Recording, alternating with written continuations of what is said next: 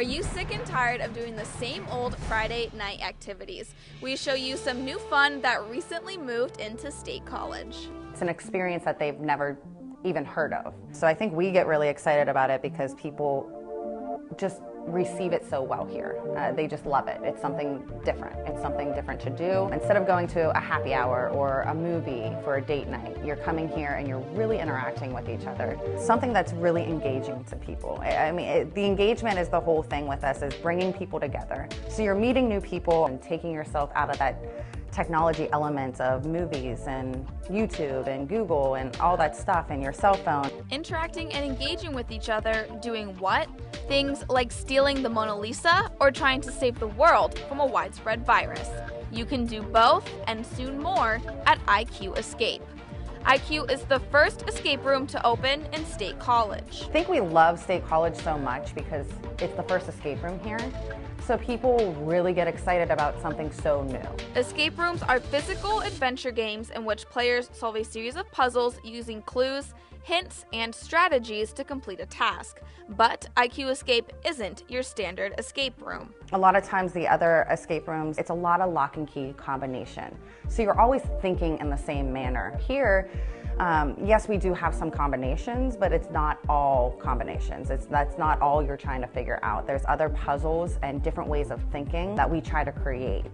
That inspiration for their new way of thinking in their games came from watching movies, reading books, even just walking into a store. I just see that blank stare go over, and I know I've lost him for the rest of the night he'll just get this crazy idea and be like, this is what we can do with it.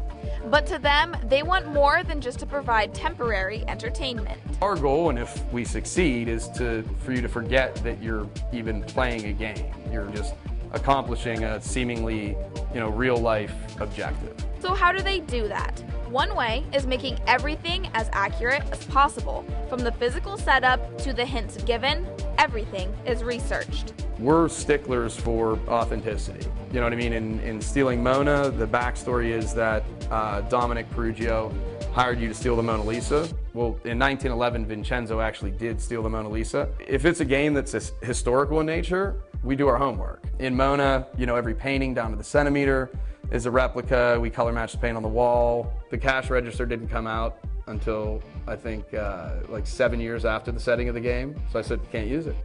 They even brought in a woman from the CDC to come and review narratives for their game Contagion to make sure everything was correct. And though kids of all ages can come and try to work their way through the puzzles, they said they don't want people to think it's just a children's game because they actually designed it for adults. Younger kids love it, but the older demographic, uh, ourselves and up, need to realize that's who it's designed for. It's not, it's not a game. It's not, it's not virtual reality. It, it's not a video game. It's not a computer game. The best maybe description is it's not, it's not 3D. It's, it's real D. And they are adding to that real D collection with the addition of a new game called Time Shift, where the players will have to go back in time to the Battle of Gettysburg to stop people from using stolen futuristic weapons, or the South wins the Civil War.